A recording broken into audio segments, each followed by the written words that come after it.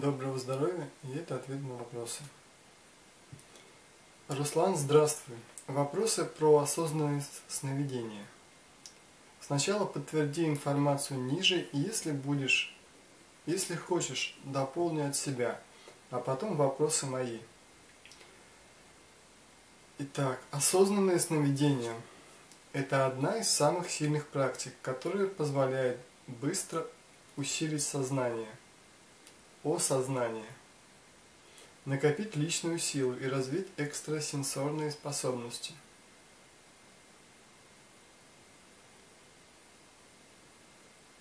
Ну, так, здесь сразу комментарий или поправка. Это в основном самая пер... первая сверхспособность, которую вырабатывают среднестатистические люди или через которую обычно проходит большинство. Хотя некоторые идут через телепатию, некоторые через ясновидение, а некоторые через астральную проекцию или через астрал. Вот эти четыре основные, через которых через которые основное большинство начинает развиваться. Это, ну, осознанное сновидение – это самое первое, может быть, даже боль у большинства она имеет практик, а, она имеет номер один, через что они проходят. Спонтанно, по готовности, в основном начинается. И большинство людей, а нет, все-таки и все больше людей, да, ее когда-либо пробуют а, специально или а, случайно, конечно, не случайно, а когда у них назревает готовность или они приближаются, хотя бы на момент, на миг к ней. Бывает один раз в жизни у некоторых, у большинства один раз в жизни бывает, у чуть большего количества два, еще чуть, у чуть большего количества людей три и так далее.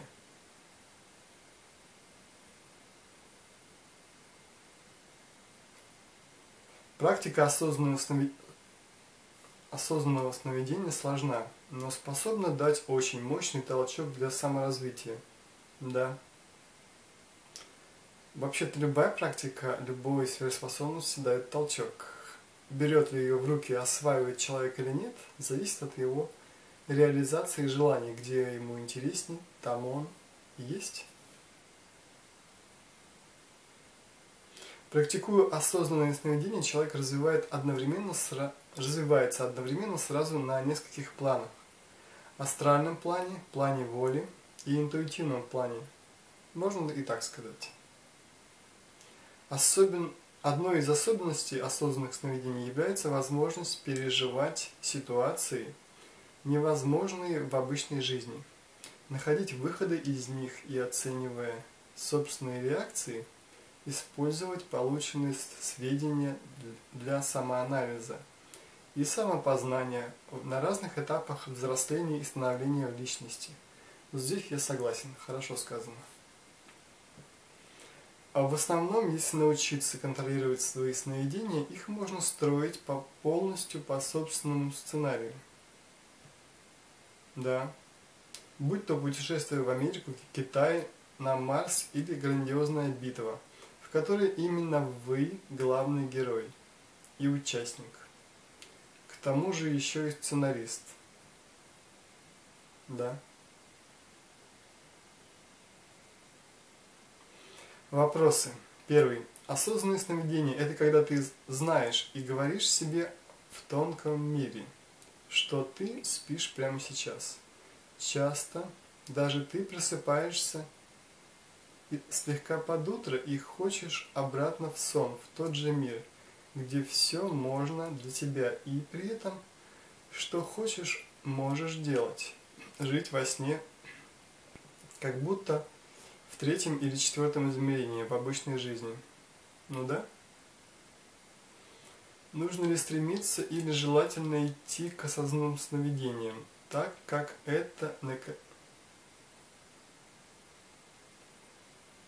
так как это одна из самых сильных практик, которая позволяет быстро усилить осознание. Ну, это первая практика, которая кажется или воспринимается самой сильной. Это нормально поначалу. пока вы в ней не освоитесь, не станете мастером или не будете, не начнете переходить к другим практикам, которые вам при освоении покажутся еще более сильными. И так до бесконечности.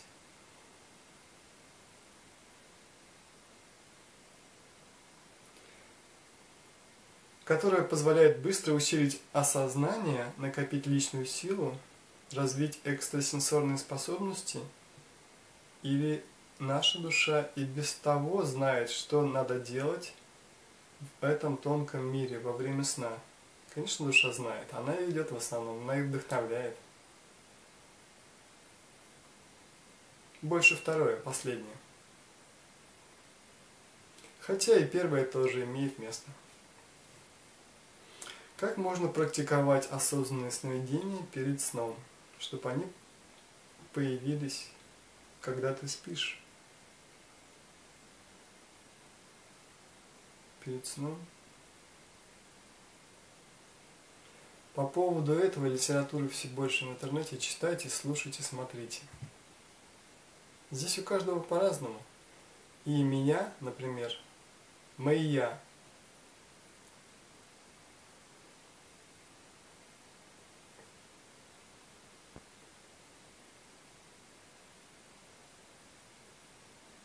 ведут. Ведут в основном они. Мои те, которые находятся за пределами моего эго, ума, личности. Почему осознанные сновидения крайне редки? Ну, потому что мы находимся в трехмерном мире, где все только начинают свое развитие в сторону человека разумного. Нет, не, не все, почти все, или большинство. И с, э, в это большинство приходят разные существа и сущности, которые помогают этому большинству в этом, или показывают пример, или являются учителями, или ведущими в том, что они умеют. Для тех, кто желает это познавать или обучаться.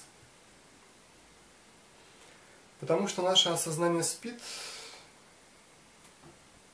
ну да, мы всегда спим относительно других миров или а, ну, то, что мы видим нашими глазами или третьим глазом, или просто нашим вниманием, это то, где мы в реальности, будь это любое измерение, осознанное сновидение, астральный, ментальный, многомерные миры. И для остальных миров, наших тел, наших «я» мы спим. То есть они можно так условно говорить, что они остальные спят. И сейчас главный фокус в том, где мы себя осознаем. Но там есть дальнейшее мастерство, когда мы умеем переключаться между двумя мирами очень быстро. Или, находясь в одном мире, видеть этот мир с другой точки зрения. Можно и в трех мирах одновременно находиться, но это сложнее. В четырех еще сложнее. Как-то я попробовал сразу много увидеть, а это сложно было подсчитать сколько, но я одно накладывалось на другое и было очень сложно, поэтому я это очень редко с тех пор делаю. А, легче всего понять или осознавать, смотря на реальность из двух миров. Иногда приходится смотреть из трех. Еще реже и в основном хватает из двух точек зрения, чтобы не заиграться в одном мире.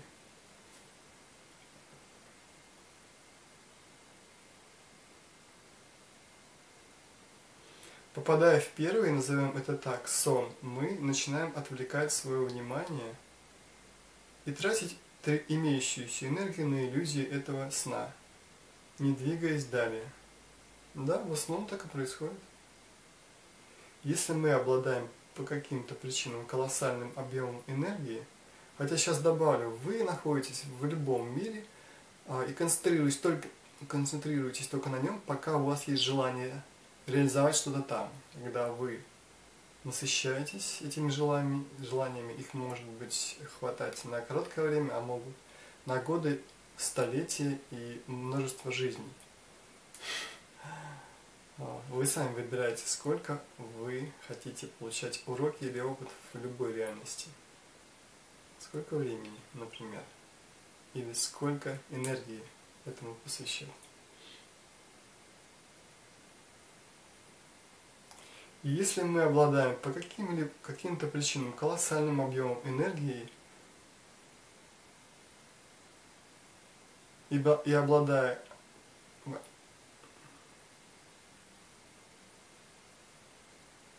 и обладая колоссальным намерением не задерживаться на различных первых слоях этой луковицы сна, то вы про... пронижите собой эти миры вашим сознанием и остановитесь там, куда стремились. Да? Но большинство из нас не знает, куда стремиться, и даже не знает о возможности этого стремления – и как маленькие потерявшиеся дети застревают на первом уровне сна и блуждают там, пока физическое тело не перезагрузится для следующего дня. Нам не хватает энергии и осознанности? Ну да, ну можно так назвать, что это а, детьми. Но ведь даже это естественно, вот такая аналогия. А мы все равно будем задерживаться там, где нам интереснее. И для других следующих этапов мы себя можем называть детьми или с той стороны, или с будущего мы можем видеть себя как, как дети. Ну, это нормально. Каким надо быть, что, что у тебя колоссальный объем энергии?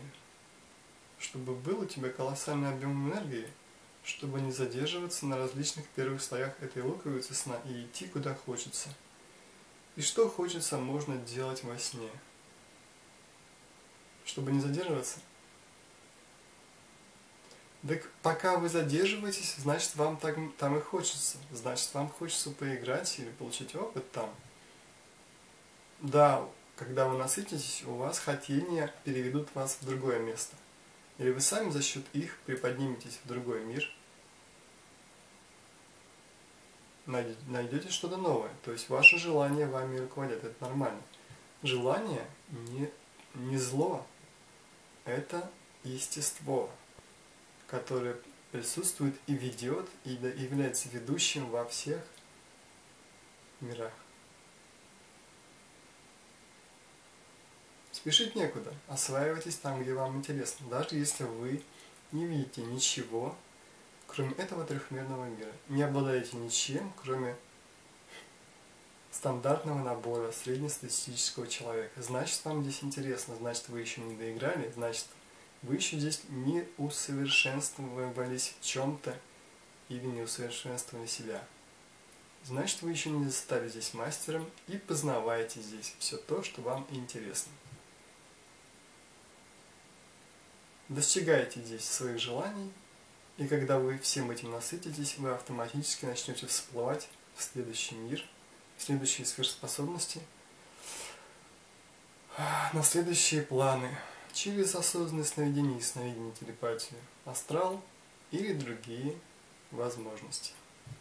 На этом видео завершаю. До следующих встреч. Пока.